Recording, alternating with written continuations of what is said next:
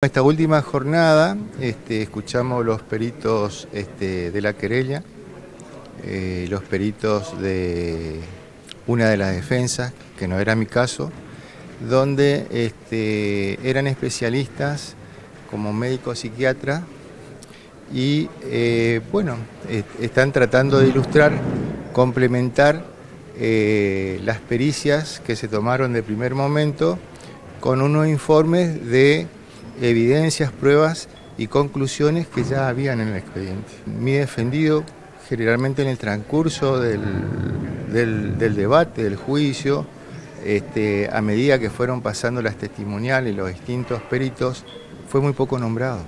Así que bueno, eh, por ese lado, eh, dentro de nuestra teoría del caso, dentro de nuestro esquema y estrategia de defensa, estamos tranquilos. Eh, soy codefensor y eh, asumí la defensa de, como codefensor, o sea, segundo defensor de mi defendido Facundo Gómez, eh, a partir de eh, fin de año del año pasado. Entonces hay cuestiones que yo no tuve acceso independientemente que en forma privada lo fui este, reconstruyendo. Hay partes que quieren que se haga lunes porque es un caso muy complejo, hay mucha acumulación de datos, este, más las que se recibieron en el transcurso del juicio, del debate.